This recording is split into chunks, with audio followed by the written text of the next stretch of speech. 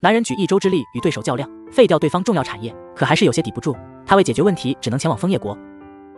德州经济压力好大，农业、工业、服务业交易额环比减少，呈持续下降趋势。你有办法解决吗？嗯，没有，我的产业也是一团糟，市值缩水的厉害，再这么下去，怕是要破产了。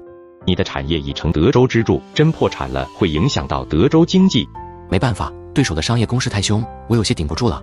哦，你说这是人为的，有人刻意对德州经济下手？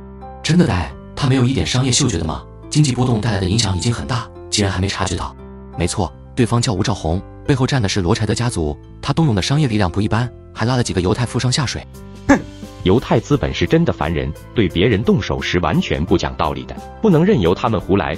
想挺过这次危机，德州几大富商需要政策支持，否则德州经济崩盘，全德州人都要受累。为了德州经济发展，当然要支持，可我对商业上的事不大懂，具体应该怎么做？我手里有个方案，若你按照上面的来，德州经济应该能渡过难关。嗯，我拿回去开会讨论，只要方案没太大问题，应该能通过。我也会动用商业手段，希望我们联手破局，解除德州商业危机。陆哥查到了，长期供应农产品给黄总的商人叫做托比，号称枫叶国农产品大王。嗯，还得从根源上解决。之前以为给黄总制造麻烦，他便没空搞农产品进口，没想到他铁了心帮吴兆宏，制药厂出现问题，他卖掉也要跟我斗。黄总应该是上火了，把所有损失算到陆哥身上，却不想是自己先挑事的。搞出问题，谁又会觉得是自己的错？此时黄总应该特别恨我，想进行报复。嗯，也不知道他图什么。像他这种人的处境很危险，制药厂没了，随时会被吴兆宏当成弃子。那是他自作自受。有托比的详细位置吗？我要过去找他谈谈。陆哥要不再考虑一下？如今吴兆宏处处针对你，此时去枫叶国不安全。有龙哥你在，我觉得没什么问题。话是这么说没错，袭击和暗杀倒是好提防，怕的是枫叶国官方有动作，我们再强也斗不过一国军队。我过去谈生意，枫叶官方应该不会无耻到抓我。龙哥去准备一下，我们今天过去。达姐，鲁飞先生去了枫叶国。嗯，去枫叶做什么？他在那边没有产业呀。近期他的产业受到打压，被迫去枫叶谈生意。不过有人想趁机除掉他，要暗堂的人去枫叶国，把他们处理掉，正好检测永久型强化药剂的效果。在枫叶行动不难，可以调不少暗堂的人过去，足以保护他的安全。那他在商业上遇到的危机，我们要帮忙吗？不用，他是个优秀的商人，自己能解决。况且我也不懂做生意。嗯，我马上去安排暗堂的人，叮嘱他们别暴露。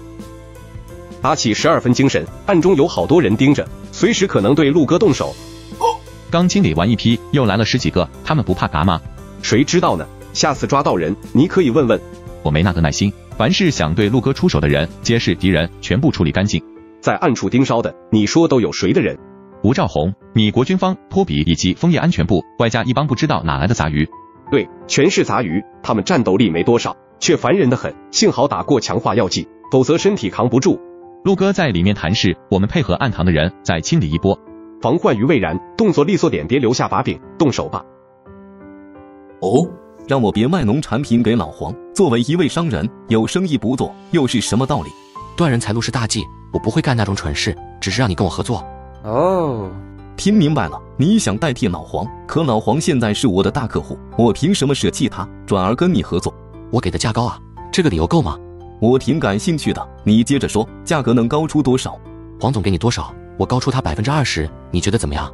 哎呦，我跟老黄是有交情的。突然间反悔不好，陆总也是商人，应该知道以诚信为本。加价百分之二十五，这是我的极限，在巨大利益面前，交情脆弱的不堪一击。哦，我看到了陆总的诚意，可此事有些为难人，要不给我一晚上时间思考，明早给你答复。生意全凭资源，我开的条件已经不低，请托比先生慎重考虑。鹬蚌相争，渔人得利，我发财的机会来了，必须借此做大做强，再跟老黄聊聊。老黄，我这边货源紧张，怕是没法再卖农产品给你了。今年不是大丰收吗？货源怎么突然紧张了？我这边正处在紧要关头，你可别玩我。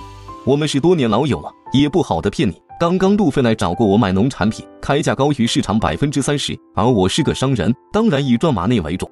提价百分之三十必定赔钱。为了突破我的封锁，他也是够拼的，看来起效果了。你们的恩怨我不管，我只看利益，谁给的价格高，我便卖给谁。你先别着急，我如今帮罗柴德家族做事，最不缺的就是米金。你说那么多，打算加价多少？我只关心这个问题。加价百分之三十五。若路飞再次加价，你继续跟我说，我不会给他机会的。哈哈哈哈哈！他们闹得越凶，我便能从中拿到更多好处，好日子要来了。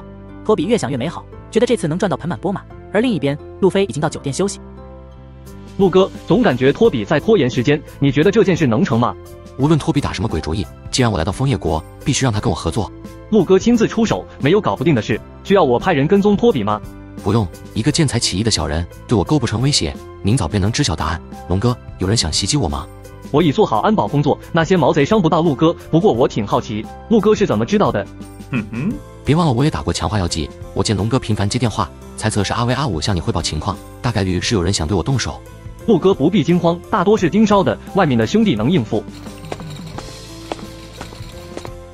你好，我是来送餐的，请问还有什么需要帮助吗？嗯，这个点送餐，人也不像服务员，这人有问题。